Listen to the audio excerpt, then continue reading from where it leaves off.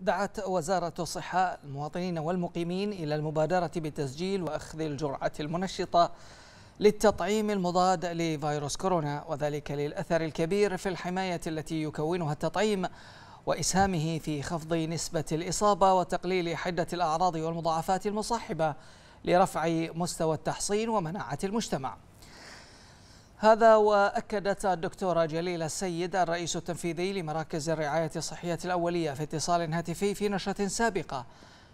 أن مملكة البحرين حرصت منذ بداية الجائحة على متابعة المستجدات الصحية التي تضمن توفير اللقاحات اللازمة والإجراءات الاحترازية للتصدي للجائحة.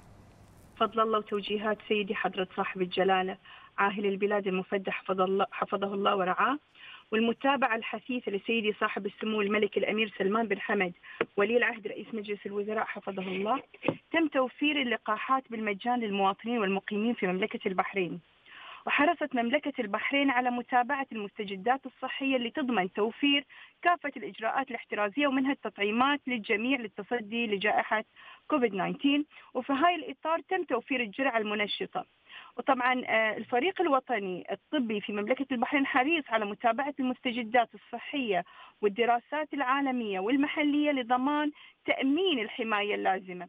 فجاءت هاي التوصيات بتوفير جرعة ثالثة أو منشطة للقاح ساينوفارم في البداية آه، وبحيث تعطى بعد شهر إلى ثلاثة أشهر حسب الحالة الصحية وتلاها لبقية اللقاحات آه، سواء كان فايزر أو سبوتنيك أو أسترازينيكا كوفشيلد بفاصل زمني حوالي ستة أشهر للقاحات المتاحة. طبعا إضافة جرعات معززة أو منشطة لتحفيز جهاز المناعة وإحداث استجابة مناعية أمر غير جديد.